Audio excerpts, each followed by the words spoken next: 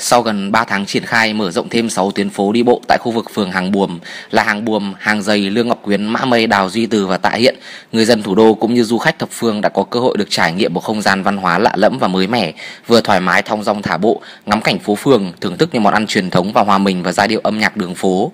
Những ngày đầu phố cổ đi bộ bước vào hoạt động, phần nào cuộc sống của những người dân sống trong vùng lõi bảo tồn bị ảnh hưởng khi các cơ quan chức năng đã bố trí cho những hộ dân sống tại đây gửi xe ở một khu vực ưu tiên bên ngoài, mỗi khi cần di chuyển có thể thoải mái gửi và lấy xe. Tuy nhiên, theo ghi nhận của phóng viên báo giao thông, vào thời điểm tối chủ nhật tại những tuyến phố đi bộ, trong gần một tiếng đồng hồ đã có khoảng gần 20 trường hợp xe máy, xe đạp điện ngang nhiên luồn lách, đánh võng, hòa vào giữa dòng người đang đi bộ tấp nập gây nguy hiểm cho mọi người. Dù đã có biển cấm ở khắp mọi nơi, nhưng những phương tiện này lại thản nhiên di chuyển, khiến cho những người đi bộ bị giật mình và bất ngờ không hiểu sao khi vào phố đi bộ vẫn phải tránh xe máy.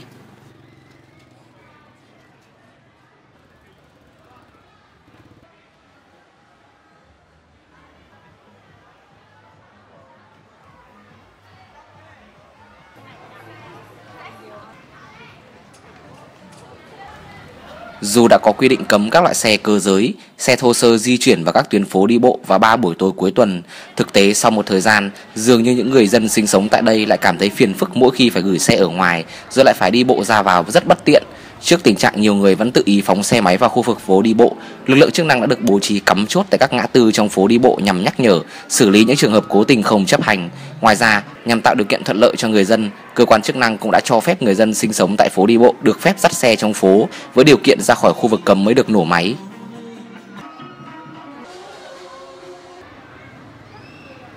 Đi vậy thì nó nguy hiểm thật, bởi vì là không ai có thể biết được là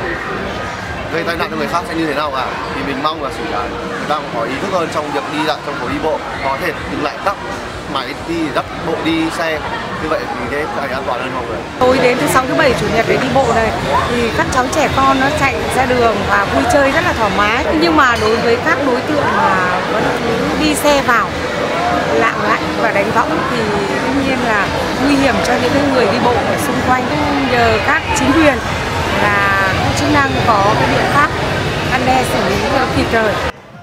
Vẫn biết vì lợi ích chung của cả cộng đồng và xã hội mà cuộc sống của nhiều người dân sinh sống tại những tuyến phố đi bộ bị đảo lộn, chắc hẳn ai ai cũng sẽ cảm thấy phiền phức khi quyền tự do nào đó bị cầm đoán. Tuy nhiên, nếu mỗi người biết tự ý thức, hy sinh quyền lợi nhỏ của mình để tạo nên những điều tốt đẹp cho mọi người thì chắc hẳn đó là điều nên làm. Chúng tôi cũng đã liên hệ với lãnh đạo quận Hoàn Kiếm để làm rõ về vấn đề này và sẽ sớm có câu trả lời nhằm tạo điều kiện thuận lợi nhất cho nhân dân sinh sống tại những tuyến phố đi bộ trên.